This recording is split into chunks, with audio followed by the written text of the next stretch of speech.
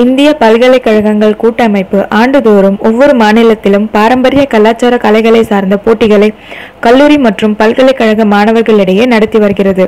இளைய தலைமுறையினரிடையே பாரம்பரிய கலைகளின் முக்கியத்துவம் குறித்து விழிப்புணர்வு ஏற்படுத்தும் வகையில் நடைபெறும் இந்த நிகழ்ச்சி முப்பத்தி மூன்றாம் ஆண்டாக இந்த ஆண்டு காஞ்சிபுரம் மாவட்டம் படூரில் உள்ள இந்துஸ்தான் பல்கலைக்கழகத்தில் நடைபெற்று வருகிறது.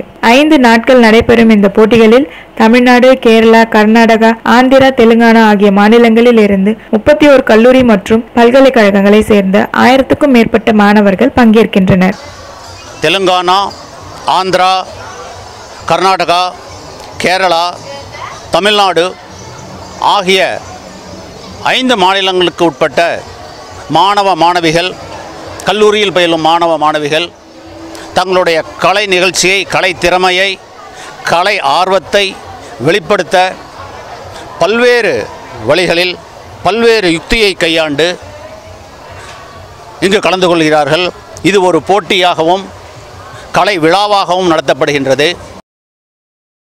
ஒவ்வொரு மாநிலத்தின் பாரம்பரியத்தை எடுத்துரைக்கும் வகையில் நடனம் பாடல் ஓவியம் களிமண் சிற்பம் என பல பிரிவுகளில் மாணவர்களிடையே போட்டிகள் நடத்தப்படுகின்றன.